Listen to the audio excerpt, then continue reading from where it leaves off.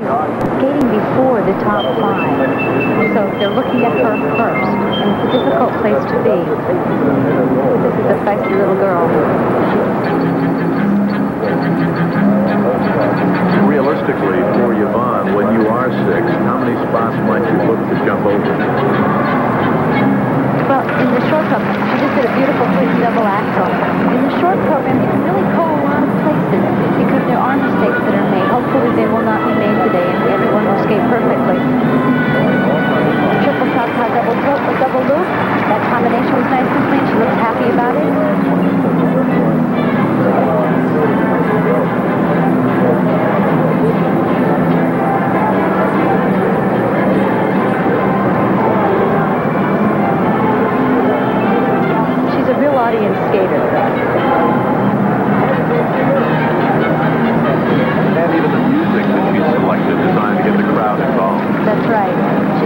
She's a wonderful person off of the ice, too.